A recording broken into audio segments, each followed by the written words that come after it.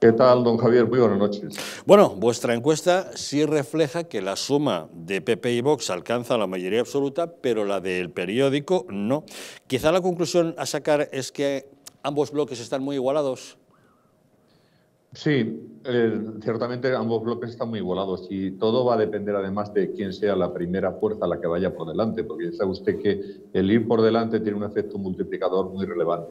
Entonces, si es el PP el que va por delante, efectivamente se podría ir a esos ciento y pico escaños que le pueden permitir una alianza con Vox eh, que le permitiría, a su vez, gobernar de una manera más o menos cómoda, ¿no? incluso en último término con alguna que otra alianza de partidos eh, provinciales o regionales están al uso en los últimos tiempos. ¿no? Pero lo importante es el primero, porque la ley DON beneficia al que va, eh, al que va obteniendo más votos y si es el PP, evidentemente las posibilidades para el PP, si finalmente fuera el Partido Socialista, sería todo lo contrario. De ahí que, bueno, se siempre tengan valor esas 30 eh, provincias más o menos que hay en España, en donde el sistema es muy mayoritario y en donde se beneficia sobre todo a la primera fuerza, la que va primera, porque termina doblando en esas provincias, termina doblando en escaños al que va segundo.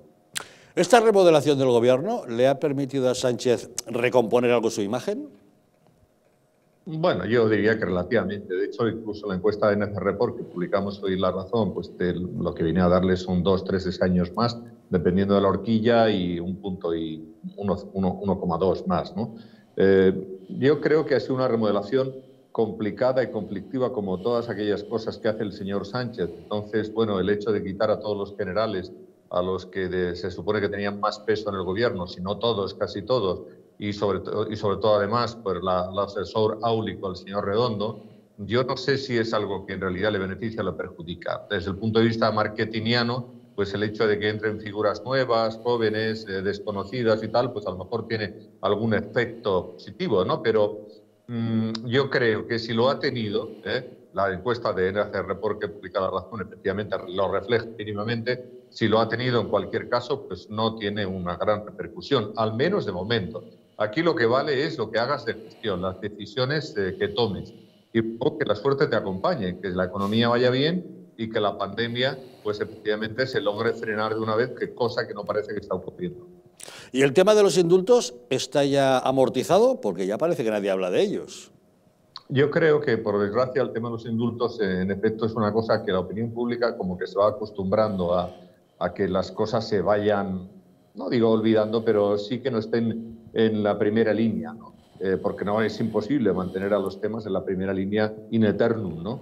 Entonces, en la medida en que el independentismo no genere demasiado ruido, y hombre, estamos ahora en las fechas en que estamos, con un repunte de la pandemia muy potente en Barcelona y en, Cataluña, y con, y con, un escenario veraniego en donde probablemente no sea la mejor de las situaciones para que el independentismo vuelva a salir y vuelva a recordar a los ciudadanos en toda España pues eh, lo duro que ha sido tener que poner en la calle a personas eh, que no se arrepentían, personas que dicen que lo van a volver a hacer eh, en cuanto sea necesario y toda esta retaíla de frases que a las que estamos acostumbrados y que tanto, año, tanto daño hacen sin duda al presidente del gobierno y a su equipo. Bueno, como siempre decimos, las encuestas son a fin de cuentas la fotografía de un instante, en todo caso marcan tendencias, pero queda tiempo aún para las elecciones, pueden cambiar mucho las cosas, ¿no? Pues fíjese, don Javier, eh, usted recuerda aquella encuesta, hubo una encuesta que, me parece fue el diario El País quien la sacó, que daba mayoría a Podemos. Eh, y esto, ha ocurrido en realidad. Y también tuvimos una encuesta antes de, la moción de censura contra Rajoy, la que terminó eh, siendo triunfante mm, y permitió el acceso al gobierno al señor Pedro Sánchez, y esa encuesta daba que efectivamente el partido más votado tendría, mm, no sabíamos si tendría mayoría, pero en fin, era el más votado, era Ciudadanos. ¿no?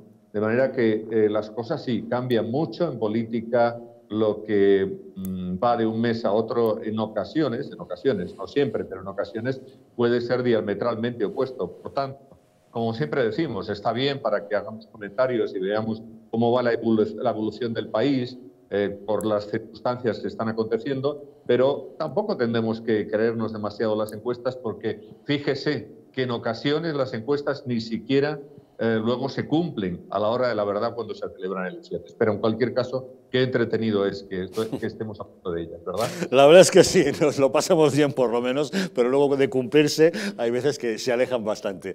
Don José Antonio Vera, director de publicaciones de La Razón, muchas gracias como siempre por acompañarnos en Los Intocables.